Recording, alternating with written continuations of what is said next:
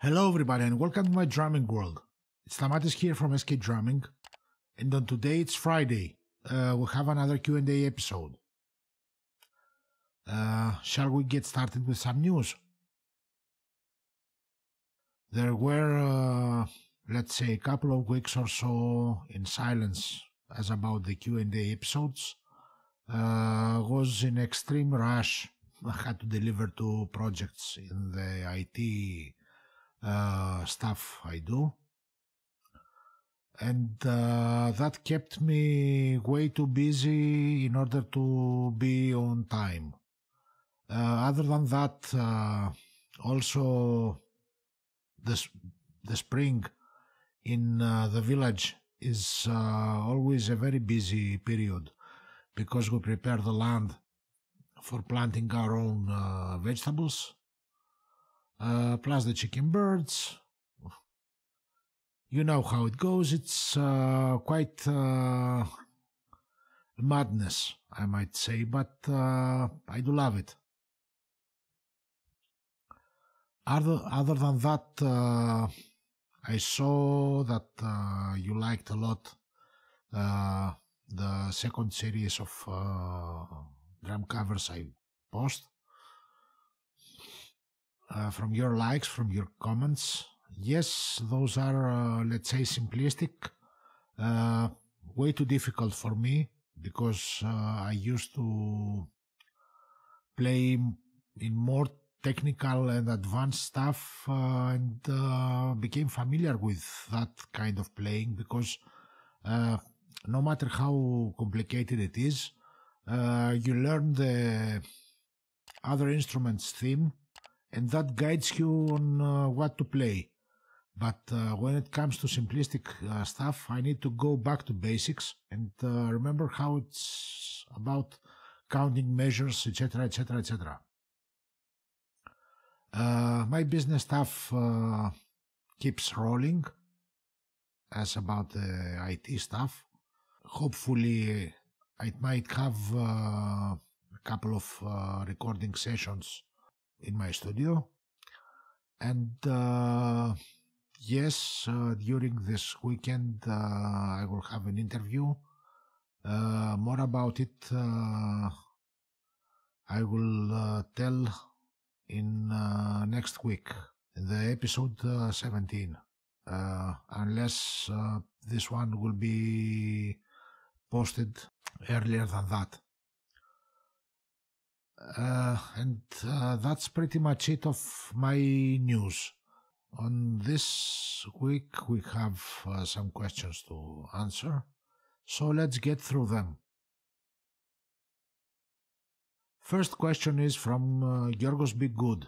Uh, he asks in Greek, what type of uh, drum heads I use in my bass drum in order to achieve the sound that uh, all of you heard and uh, loved so far. Well, George, do I mind to tell you that uh, I'm still using the stock drum head that came with my drums? Uh, to be frank, that uh, drum head is equal to Remo Power Stroke 3 but uh, the sound it's not only the drum head that somebody uses is the tuning and the sonic character of the drum Tamas used to have uh, that uh, punchy attack sound in their kicks. That's why most of uh, the metalheads are prefer them.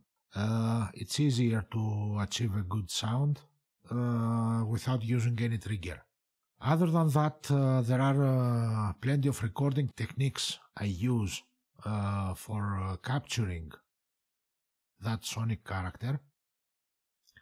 And of course, the process I do during uh, the mixing. Uh, what treatment I do with equalizers, with compressors.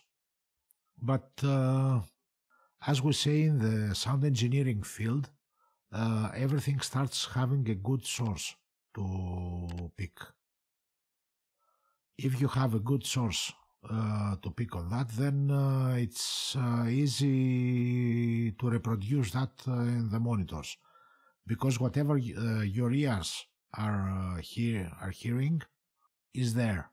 You just need to do surgical operations to cut off the unwanted stuff and pick those that you want.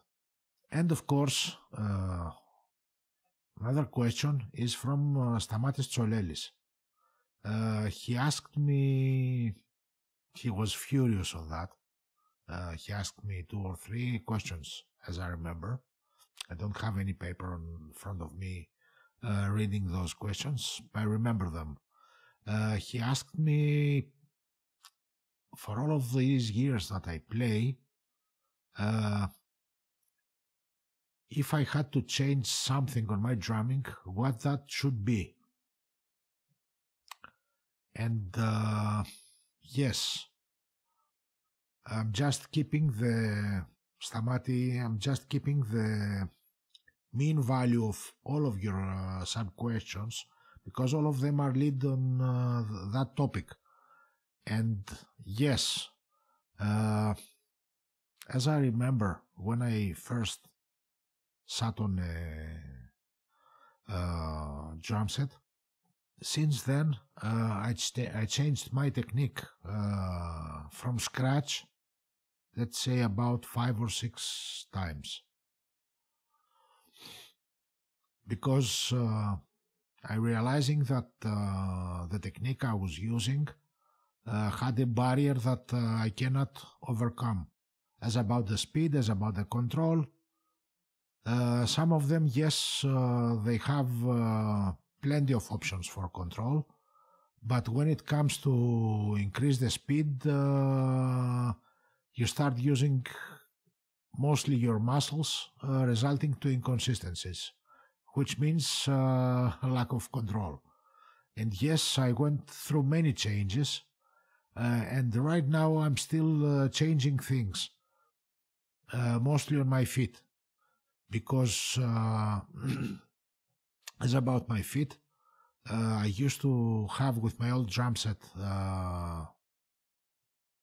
Iron Cobra pedal, which is not a longboard.